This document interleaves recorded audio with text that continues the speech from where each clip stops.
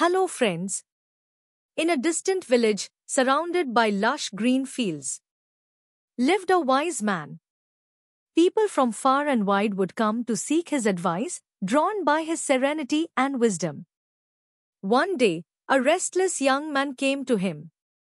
His eyes were filled with impatience. He humbly said to the wise man, I am troubled by my lack of patience. How can I find peace in my restlessness?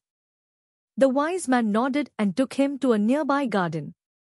They stood under a tall mango tree, laden with unripe mangoes.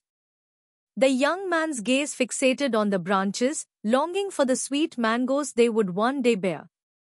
Look at this tree, the wise man said softly. It promises delicious fruit, but it understands the importance of patience.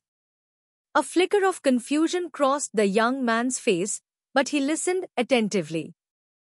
Come closer, the wise man said, handing him an unripe mango that had fallen to the ground. He placed it in the young man's hand and said, Taste it. The young man took a bite, immediately tasting the soreness that made his brow furrow.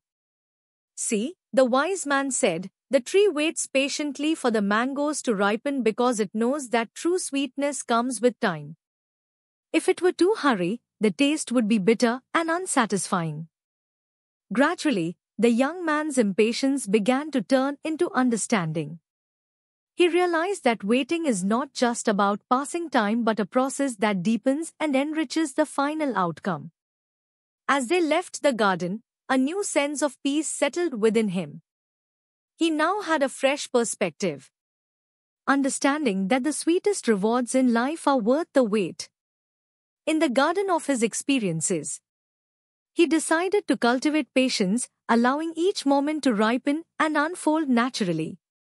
Just as the tree waits for its fruit to ripen, we too must embrace patience in our lives. Patience is not merely the passage of time but a process that adds depth and sweetness to our experiences.